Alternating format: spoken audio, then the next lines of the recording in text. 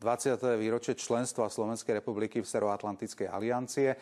Zhodnotí aj istý čas najvyššie postavený Slovak v štruktúrách NATO, generál Pavel Macko. Vítajte v štúdiu. Dobrý deň. Dobrý deň, ďakujem za pozvanie. Kým sa presunieme do Vajnor, kde bude mať samozrejme aj prezidentka k 20. výročiu vstupu Slovenskej republiky do NATO aj prejav, skúsme si povedať a možno zájsť trošku do tej histórie do konca 90. rokov. V roku 1999 sa NATO rozšírilo o prvé tri štáty východnej Európy, bolo to Česko, Polsko a Maďarsko.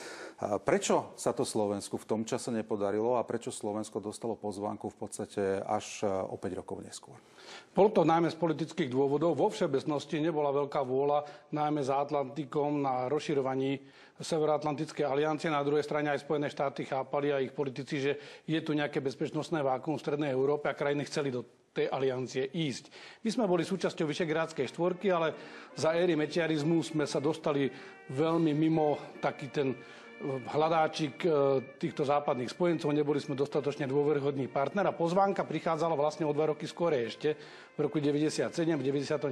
už prišlo k tomu fyzickému pristúpeniu a Slovensko bolo z toho vynechané. Pre tieto politické dôvody neboli sme dostatočne spolahlivý partner pre alianciu a preto nechceli riskovať s tým, že by pozvali aj Slovensko do NATO.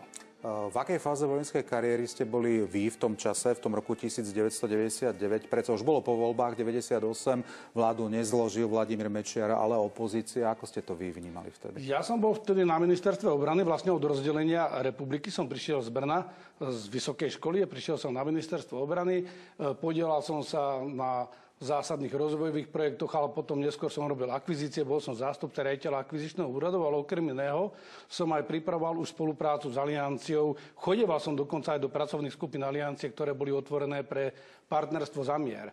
Vnímal som to ako veľmi, veľmi zlú správu pre nás, pre obyvateľov, pretože ponuka nejakej neutrality nebola na stole a vlastne ocitlo sa Slovensko ako keby v závoze v takom tom bezpečnostnom váku. Neskôr som išiel študovať do Spojených štátov a keď som sa vrátil, tak už sme boli my v tom predstupovom e, procese a bol som veliteľ logistiky a v podstate som realizoval reformu logistiky pred našim vstupom do aliancie. Treba povedať, že vtedy sa rozpracovala doteraz asi najkomplexnejšia reforma ozbrojených síl, z ktorej nie všetko sa podarilo splniť, ale bol to vlastne vtedy taký veľký plán modernizácie a rozvoja ozbrojených síl a rezortu obrany, tzv. model 2010, ktorý komplexne popisoval ten budúci charakter našich ozbrojených síl a už vlastne pripravoval tie ozbrojené síly, ale aj štát na to, že budeme začlenení do aliancie. S tým sa teda, ako hovoríte, e, asi počítalo, ale ak by v 98. roku nezložila opozícia, vtedy na čele s Mikulášom Dzurindom, vládu, e, prišla by tá pozvánka podstatne neskôr, ak vôbec? Neprišla by je to treba jednoznačne povedať, že tá pozvánka by neprišla. Ja keď som aj študoval v Spojených štátoch a už bola diskusia o tom o druhom rozširovaní, bol veľký skepticizmus najmä za Atlantikom, že či sa má na to ďalej rozširovať, lebo bolo to pôvodné, to prvé rozšírenie bolo pôvodne len politické rozhodnutie. Pre druhou vlnou už krajiny aliancie prišli aj po skúsenostiach s rozširovaním o nových členov, že je treba mať aj nejaké vojensko-odborné kritéria. Vytvoril sa tzv. akčný plán členstva v NATO a podľa tohto plánu už sme museli splňať aj nejaké kritéria, lebo bol problém s integráciou aj tých pôvodných krajín.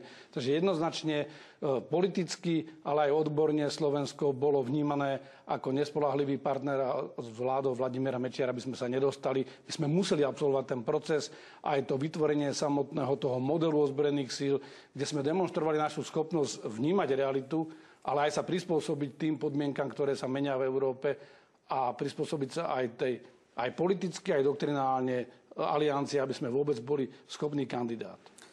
Určite je dobre si povedať po 20 rokoch, aký prínos pre Slovenskú republiku malo naše členstvo v NATO. Čo nám to prinieslo? Jednoduchá krátka odpoveď by bola, že sme si vlastne zabezpečili základnú bezpečnostnú garanciu existencie samostatného zvrchovaného a suvereného Slovenska, to znamená vo svojich hraniciach. Vieme, že tu boli viedenské arbitráže. Slovensko v tom vojnovom období prišlo o veľkú časť územia, nemalo garantované hranice, nemáme nejaké tradičné hranice, tie boli dané dohodami, ktoré boli vytvorené v 20. storočí. Vstupom do NATO sme sa stali súčasťou bezpečnostného priestoru.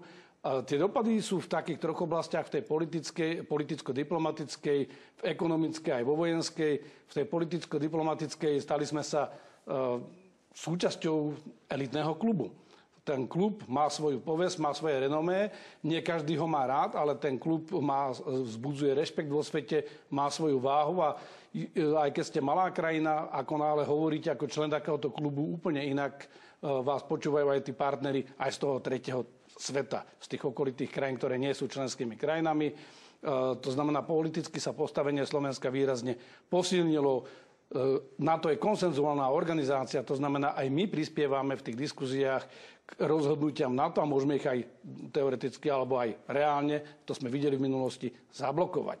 V tej ekonomickej oblasti tým, že sme sa stali súčasťou bezpečného a stabilného priestoru, tak sme sa stali vlastne takým tým takou exkluzívnou zónou. Dostali sme sa potom aj vstupom do Európskej únie, do exkluzívnej ekonomickej zóny. Investície prichádzajú, najmä tie rozumné, nie tie dobrodružné alebo riskantné, prichádzajú do krajín, kde je garantovaná dlhodobá stabilita, bezpečnosť, politická stabilita, ale aj fyzická bezpečnosť. No a pokiaľ ide o vojenské, tak vlastne umožnilo nám to výrazne zredukovať naše ozbrojené sily, lebo my sme stáli v tých 90. rokoch na kryžovatke, udržiavali sme veľké sily, ale nemali sme na ne peniaze, takže nám postupne odumierali. Začali sme robiť e, pomerne radikálne reformy na tú dobu. E, integrovali sme sa aj doktrinálne, aj štruktúrálne do Severoatlantickej aliancie. Naši vojaci začali pôsobiť v štruktúrach. Konec koncov ja som bol vôbec prvý vojak, ktorý pár týždňov po vstupe do NATO nastúpil na spojenecké veliteľstvo a rovno na riadiacu funkciu. E, takže mali sme tu možnosť zrazu byť pri tom, naučiť sa niečo, čo nás posunulo kvalitatívne úplne niekam inám hovoríte z vlastnej skúsenosti. E, ako to na vás vplývalo, teda, keď ste na, na to veliteľstvo prišli? Bola to vzrušujúca doba, ale bola to aj doba, kedy Slovensko malo cvenky. Ja si pamätám, keď som prišiel do Nemecka, jednak na veliteľstve, e, po tých pár týždňoch, keď videli, že Slováci, lebo postupne za mnou prichádzali kolegovia, že Slováci sú predsa len schopní a vedia, čo robia. Ja som mal samozrejme výhodu, že som už študoval na západe, takže mnohé veci mi boli aj jasné, bol som aj jazykovo pripravený, ale vo všeobecnosti všetky tie naše týmy, ktoré prichádzali do Ramštajnov, do tých ďalších veliteľstiev, sa osvedčili a ukázalo sa, že nebude žiadny problém s ich integráciou.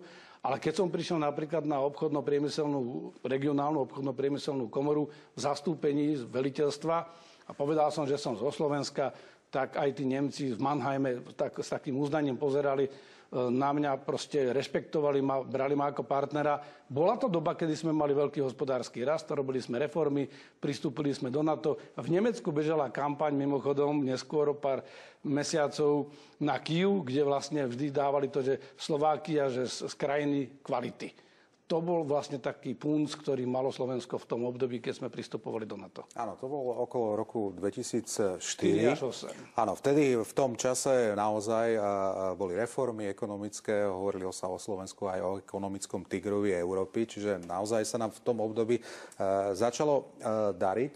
Ja len pripomeniem, že si pozeráme aj možno nejaké archívne obrázky z toho času, kedy sme pristupovali k NATO, ale priebežne sa aj prepájame do Vajnor na veliteľstvo NATO, kde očakávame aj prejav prezidentky Slovenskej republiky Zuzany Čaputovej.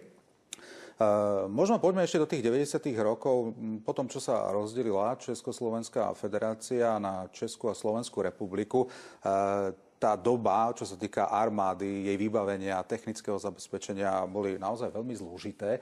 Ako sme vôbec boli pripravení na, na, na vstup do NATO? Čo sme mohli ponúknuť, čo sa týka teda... V tom na... okamžiku sme boli pripravení najmä po tej stránke personálnej, respektíve začínala tá príprava, ale aj po vstupu do NATO, ja som sa na tom podielal aj po baltských krajinách, tieto nové členské krajiny museli dokladovať a doložiť aj schopnosť že sú schopné sa naďalej integrovať, že museli sme vybudovať nejaké základné jednotky, ktoré už boli interoperabilné z NATO, aj keď na staré technike, na, so starým vybavením, ale doktrinálne, procedurálne už a aj komunikačne, myslím tým aj technickými prostriedkami, boli už interoperabilné, zapojiteľné do spojeneckej zostavy, ale e, samozrejme mali sme tu výzbroj obmedzenú a tie krajiny museli dokázať to, že, lebo oni mali také asistenčné linky alebo takých sponzorov krajiny, napríklad Slovensko malo Nemecko ako partnerskú krajinu, po Balte malo Dánsko, takú výcvikovú asistenčnú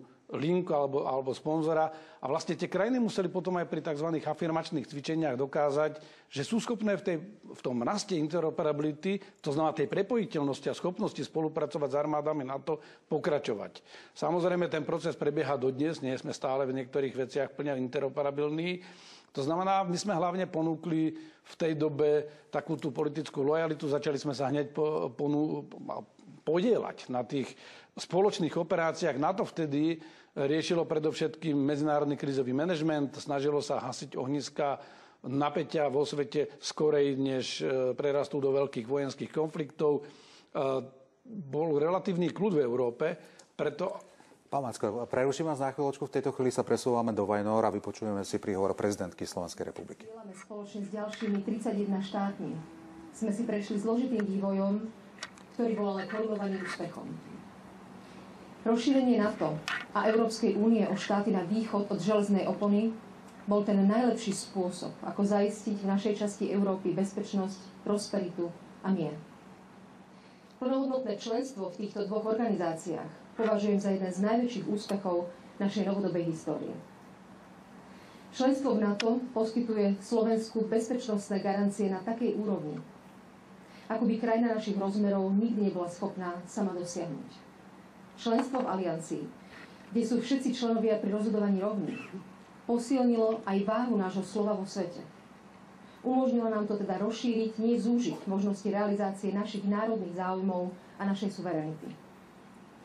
Teší ma, že dve dekády nášho členstva si pripomínam práve tu s vami. V sídle styčného týmu NATO. Pred 8 rokmi vznikol práve preto, aby Aliancia Slovensko a jeho členov uistila, že spojenci sú v prípade potreby pripravení brániť našu krajinu. Chcem sa vám všetkým poďakovať za vašu dôležitú službu, vďaka ktorej sa dnes naši občania môžu cítiť bezpečne.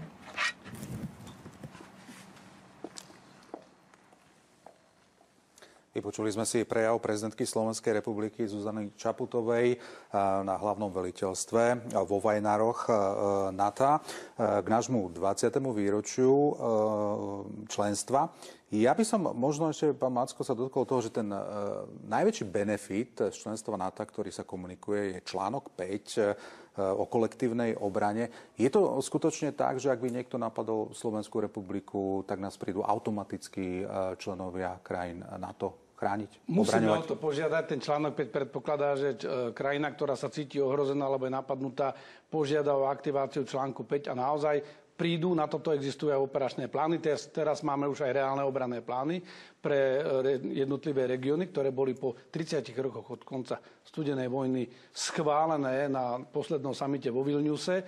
A naozaj by prišli. A práve je dobré, že bola pani prezidentka e, symbolicky v tomto styčnom týme NATO, vo Vajnoroch. Mimochodom, bol som u toho, keď, keď sa ten tým tvoril a, a nebolo to jednoduché, lebo boli tu aj takí politici, ktorí mali námietky voči tomuto týmu a bola veľká vysvetľovacia kampaň, že to nie je vojenská základňa. Ako keby sme sa báli povedať, že, že však my sme súčasťou NATO a že vlastne to NATO, aby mohlo nás aj ochrániť alebo nám pomôcť pri spoločnej obrane, tak tu musí mať aj nejaký styčný tím a musí mať aj nejaké realizovateľné, uveriteľné plány, ktoré zabezpečia to, že ak bude treba, tak na ten telefón, obrazne povedané, tí spojenci prídu. No a videli sme, že prišli, e, keď hrozil bezprostredne už konflikt na Ukrajine alebo invázia, ruská agresia na Ukrajine, tak e, styčný tím pomáhal spolu koordinovať e, prísun spojencov, ktorí sem dali a rozmiestnili predsunutú prítomnosť. Neskôr prišli tie jednotky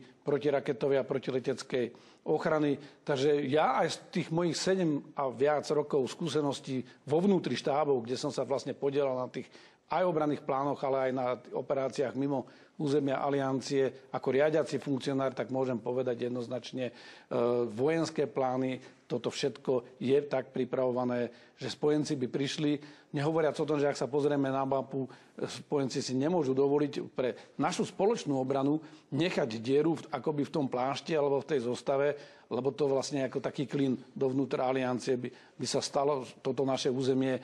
Takže ja, ja som presvedčený o tom, že prídu spojenci na pomoc, ale treba povedať aj to B, že v tej zmluve nie je len článok 5, ale aj článok 3, ktorý jasne hovorí, že aby toto fungovalo, tak e, každá krajina si musí udržiavať nejaký primeraný potenciál obrany, ďaleko menší, než aký by sme si, ako hovorila aj pani prezidentka, ďaleko menší, než aký by sme si dokázali vybudovať alebo mohli dovoliť vybudovať z vlastných síl, ale tým, že to vieme vyskladať od ostatných spojencov, tak vieme prísť. Pán Macko, opäť vás preruším a teraz si pozrieme opäť vyjadrenie prezidentky pre médiá. Nech sa páči.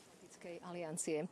Toto výročie som si slávnostne pripomenula práve na tomto mieste týme NATO, ktorý tu nasídli v Bratislave, ktoré symbolizuje spoluprácu našich spojencov a členských krajín Severoatlantickej aliancie v duchu hesla jeden za všetkých, všetci za jedného, práve preto, aby pre prípad potreby bolo možné zachovať bezpečnosť každého jedného člena aliancie. Včera som sa zúčastnila slavnostnej konferencie k tejto téme, aby sme si pripomenuli aj tých, ktorí stáli za vstupom Slovenskej republiky do Severoatlantickej aliancie. Toto naše rozhodnutie spred 20 rokov považujem za najdôležitejšie, pokiaľ ide o zabezpečenie istôt, bezpečnosti a prosperity našej krajiny, pretože sme naozaj v klube, ktorý nám poskytuje ochranu v súčasnosti aj do budúcna. Pani prezidentka, chcem sa opýtať, e, objavujú sa aj hlasy, že by malo Slovensko vystúpiť do Severoatlantickej aliancie, že v zásade nemá budúcnosť. E, čo si myslíte o týchto veciach ako budúcnosť na Slovensko v NATO a NATO ako také? Tak ako som povedala, sme e, členmi najsilnejšieho bezpečnostného obraného klubu.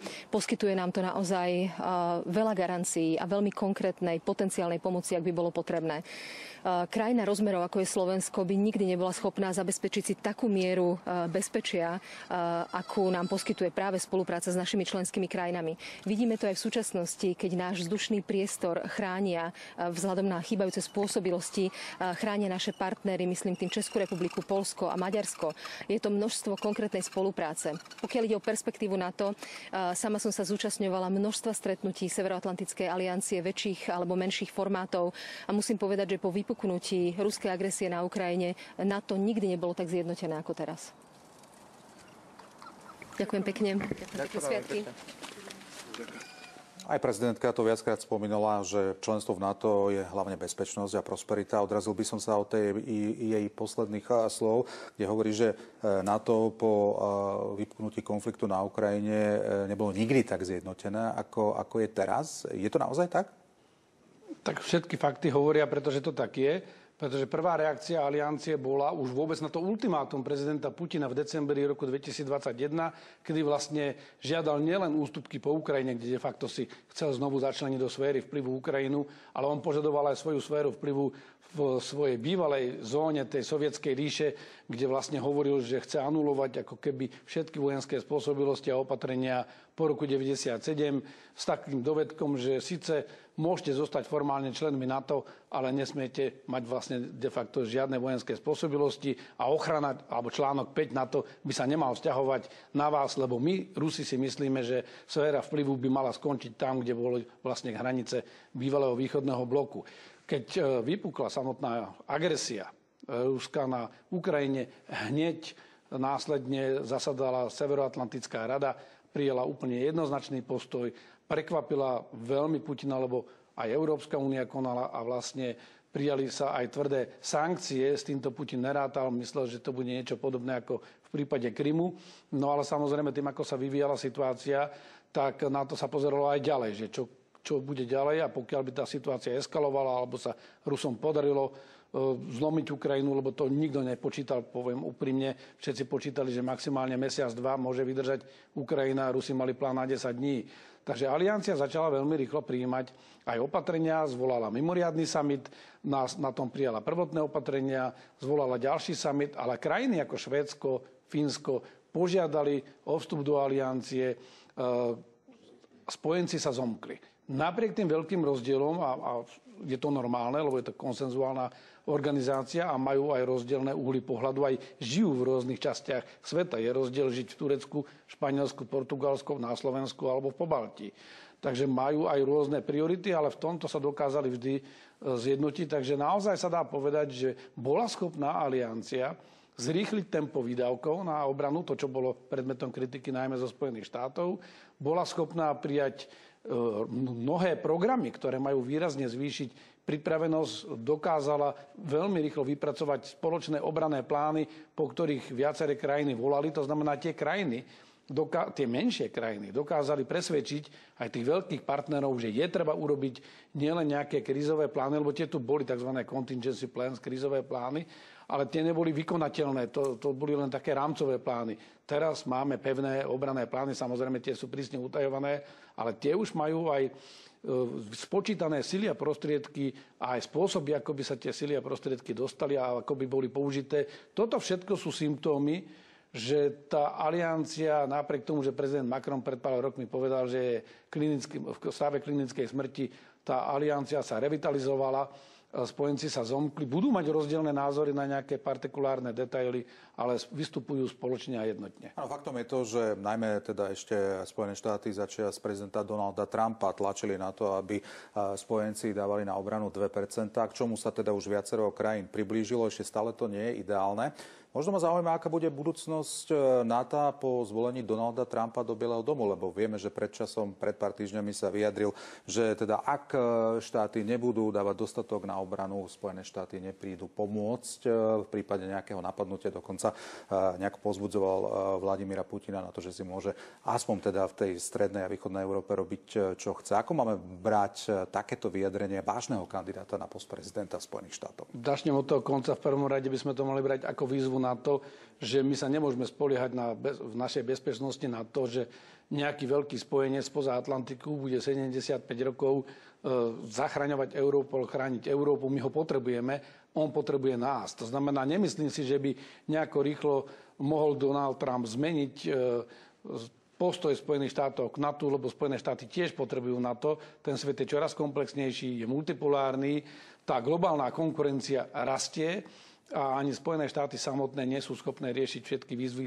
ktoré aj oni vidia pred ktorými stoja, takže potrebujú na to aj oni. Ale je pravda, že e, Európa musí zabrať viacej, musí sa začať starať viacej o svoju obranu, ale nie v kontraste proti Spojeným štátom alebo zo strachu, že Spojené štáty odídu, ale jednoducho je to prirodzené. Sme na kontinente, na ktorom momentálne beží najväčšia vojna od druhej svetovej vojny. Je to bezprostredne pri našich hraniciach. Už si neviem predstaviť e, väčší stimul. Na Margo Trumpa ja si nemyslím, že to bude také radikálne. Poprvé, už v jeho predchádzajúcom období výkonu funkcie tak e, kongres, aby sa poistil, tak prijal rezolúciu aj senátom, aj, aj snemovnou reprezentantov, že nemôže bez kongresu prezident Trump, aj keď majú silný prezidentský systém, nemôže sa rozhodnúť a vystúpiť z NATO. Samozrejme, ale môže skomplikovať, e, pokiaľ by takto voluntaristicky pristupoval k týmto témam, môže skomplikovať e, situáciu v aliancii, ale nemyslím si, že by malo dojsť k bezprostrednej roztržke. Z dlhodobého hľadiska, áno, môže to byť taká tendencia, lebo aj vnútorná politika v Spojených štátoch sa vyvíja, ale tam to už bude potom tá diskusia o tom, že čo aj majú Spojené štáty z NATO, lebo teraz tá diskusia je skôr o tom, že, že my doplácame na vás, e, to nie je úplne tak pravda, e, a aj krajiny v Európe výrazne navyšujú tie výdavky. V roku... Ale polovica toho rozpočtu je stále na Spojených štátoch amerických. Dokonca, bolo to 75%, teraz to klesá. Tento rok Európa má cez 400 miliard, európske členské krajiny majú cez 400 miliard výdavkov na obranu. Po, v pomere k HDP kolektívne už sme dosiahli tie 2%. Samozrejme, Jens Stoltenberg to zámerne zdôrazňoval, aby aj upokojil tú americkú verejnosť a tie pesimistické alebo skeptické prúdy, lebo e, je pravda, že nie všetky krajiny to ešte dosiahli. No ale krát, krátke porovnanie. V roku 2014, keď e, sa prvý raz o tom začalo intenzívne hovoriť po anexii Krymu, tak to boli tri krajiny, ktoré mali na 2% HDP. E, tento, minulý rok to bolo 11 krajín, tento rok to bude 18 krajín. v dohľadnej dobe naozaj tie členské krajiny dosiahnu. Pomaly sa k tomu blížime. Aj Európa si pochopila, že musí samozrejme investovať viac do obrany. Nemôže sa spoliehať len na Spojené štáty. Možno ešte poďme k nám do našej kuchyne po zmene vlády. Teda došlo aj možno k istej zmene paradigmy, čo sa týka podpory Ukrajiny. Aké je momentálne postavenie Slovenska v NATO a možno naša dôveryhodnosť? Tak dôveryhodnosť a vôbec taká tá, ten rešpekt, to sa buduje veľmi dlho. Dá sa rýchlo stratiť, ale ešte sme úplne nestratili, poviem to z tej optimistickej stránky. Ale je pravda, že tie signály, ktoré vysielame, sú veľmi zlé. Sú znepokojivé a nepomáhajú nám. Samozrejme, e, nie sme jediní, kto má občas takéto signály, veď vieme Turecko aj jeho angažma v Sýrii bez konzultácií so spojencami ale Turecko je v inom postavení, má iný výtlak a veľkosť ako aj, aj v inom priestore, ktorý je dôležitý pre NATO ako Slovensko. Takže tá naša pozícia v NATO sa jednoznačne oslabuje. Oslabuje sa práve na tej diplomaticko-politickej úrovni, lebo tieto vyhlásenia to nie sú už len ako keby otázky, lebo tieto otázky v zákulisí úplne bežne vyznievajú a je to normálne. Partneri a spojenci si majú vyrozprávať všetko a prekonzultovať za zavretými dvermi, majú si vyjasniť aj tie rozdielne názory a dosiahnuť nejakú zhodu. Ale ak sa to robí tak, že najprv sa, to, sa odkazujú takéto až priam nepriateľské vyjadrenia cez médiá, tak samozrejme to určite nepomáha. Zhoršuje nám to situáciu a vidíme, že už z niektorých častí sme vynechávaní, že e, je veľká otázka ohľadom dôveryhodnosti, to môže mať dopad aj na zdieľanie utajovaných informácií s nami, s ktorými my potrebujeme byť oboznámení. Na druhej strane v tej vojenskej oblasti sa zatiaľ myslím, že tá spolupráca funguje veľmi efektívne. Tí naši vojaci jednak majú už aj skúsenosti z týchto štruktúr a majú aj ten kredit a to znamená, oni dostanú aj tie správne informácie, ale už ich nemusia dostať všetky zložky štátu. Určite na záver možno je aj dobrá otázka, aká má byť naša angažovanosť eh, v rámci samozrejme konfliktu na Ukrajine, na Ukrajine pretože vieme, že samozrejme aj eh, šéf Európskej rady Charles Michel hovoril na to, že ak chceme mier, musíme sa pripraviť na vojnu. Nemecké spravodajské služby hovorili, že ten konflikt s Ruskom teda je možný, plánujú, alebo teda hovoria respektíve o roku 2026. Ako vy vnímate vlastne tieto informácie, ktoré, ktoré vychádzajú teda aj samozrejme z centrály NATO alebo vo všeobecnosti aj zo západnej strany. My sme tu 30 rokov žili vo vynimočnom období v, e, v dejinách Európy aj dejinách sveta, lebo sme tu relatívne nemali žiadny veľký konflikt, ak nepočítam nejaké konflikty na Blízkom východe, lokálne, a nemali sme tu taký ten systémový konflikt, lebo toto, čo Rusko teraz urobilo, to je systémový konflikt, kde Rusko chce zmeniť pomery vo svete, chce zmeniť mechanizmy, ako svet bude fungovať. Upriamuje sa skôr na také spravovanie sveta, že rovnováha mocnosti, kde tí veľkí mocní podľa tých svalov a podľa tej sily si rozdelia a rozparculujú zem. Polárny svet. Tak. Ale hlavne ide o to, že aby v ňom mali slovo len tí veľkí silní hráči a že podľa toho, akú majú relatívnu silu v danom okamžiku, podľa toho budú mať svoje sféry vplyvu a tie krajiny, ktorých sa to týka, vlastne nemajú do toho, čo príliš veľa hovoriť, majú to akceptovať. E, to je svet, ktorý my ako malá krajina si nemôžeme želať. Jednoznačne by sme sa mali orientovať na udržiavanie dobrého spojenectva a spolahlivého spojenectva. To je vazalstvo. Spojenectvo znamená, že my sme súčasťou NATO, my sme súčasťou Európskej únie a ja keď počúvam aj našu retoriku, že stále sa hovorí, že idem hájiť naše záujmy suverénu, najsúverenejšia politika je vtedy, keď robím všetko to, čo pomáha Slovenskej republike udržať sa tom stabilnom a bezpečnom prostredí. K tomu bude treba robiť investície. A pokiaľ sa vrátim k tej otázke, lebo asi to treba dopovedať aj divákom, že či nám nehrozí aj konflikt s Ruskom, mnohí sa spoliehajú na to, že obidve strany majú veľký jadrový potenciál a preto ku konfliktu nemôže prísť. No lenže ruská kalkulácia vychádza z niečoho iného. Posúvajú postupne červené čiary a vlastne môžu sa spoliehať aj na to, a ak nebudeme dostatočne agilní a nebudeme sa pripravovať, aby sme odradili a nedali im vôbec šancu o tom premýšľať, tak by mohli ísť aj do lokálneho e, takého konvenčného konfliktu a spoliehali by sa, že nebudeme reagovať. Tak uvidíme, budeme to samozrejme sledovať a dúfať, že príde nejaké mierové riešenie, ktoré upokojí situáciu v Európe a v našom geopolitickom priestore. Ďakujem za zaujímavé rozprávanie generálovi Pavlovi Mackovi. Ďakujem za pozvanie, ešte raz príjemný deň. Ďakujeme za pozornosť. Najbližšie správy budú pripravené presne na poludne. Zatiaľ dovidenia.